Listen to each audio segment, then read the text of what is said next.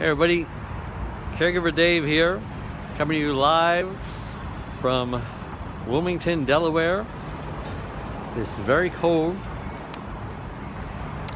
but uh, I think I brought enough warm clothes.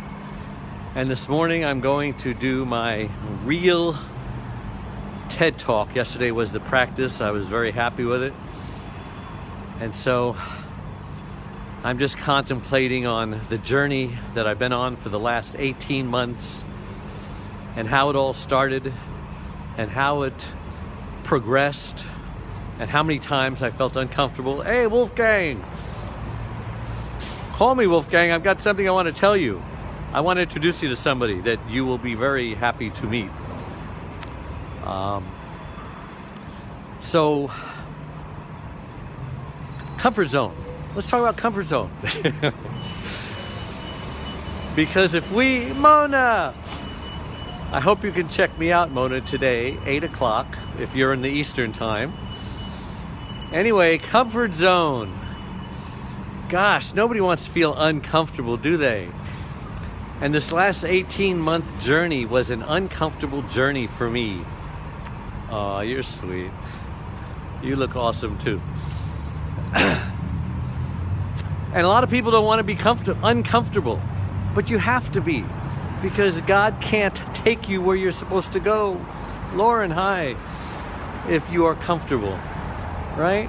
If we wanted to be comfortable all the time, then what we what would we do? We would stay in bed, stay under the covers,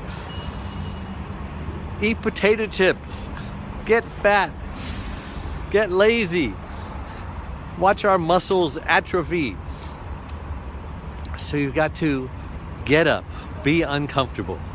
In fact, get used to being uncomfortable. In fact, put yourself in positions that will make you uncomfortable, right?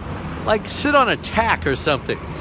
I mean, I'm exaggerating, of course, but you know, do things that you wouldn't normally do. Like instead of parking at the closest place at the supermarket, just park at the furthest parking lot spot on the whole lot so that you have to walk all the way. Instead of taking the elevator, use the stairs. Just get used to being uncomfortable so that when opportunity comes by, because opportunity doesn't knock all the time, when opportunity comes by, you will be used to being uncomfortable. And you'll say, hey, I could do that. I don't know what else to tell you. Um, I, I like to say that God opens the doors, I walk through them, and that is true.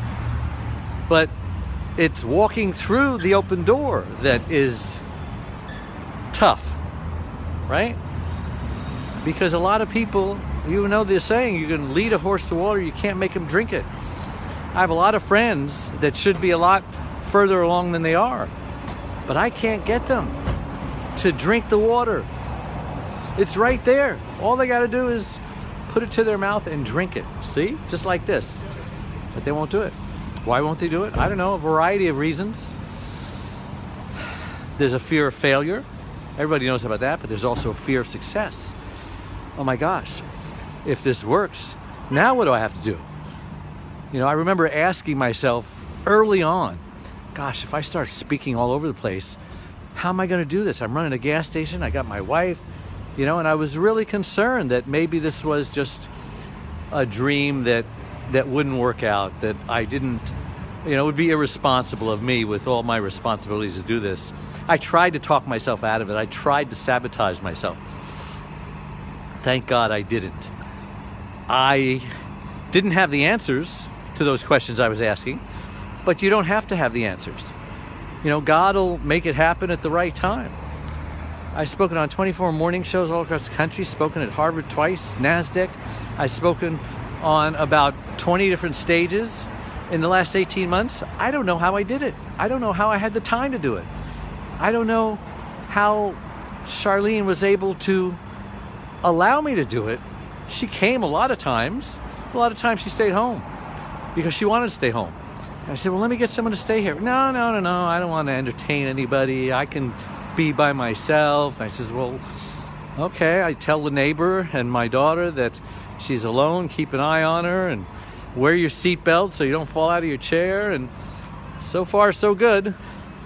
So that's my advice to you. All right. I'll talk to you guys later. Tune in 8 o'clock Eastern today if you want to see me live on the TEDx stage. God bless you. Bye bye.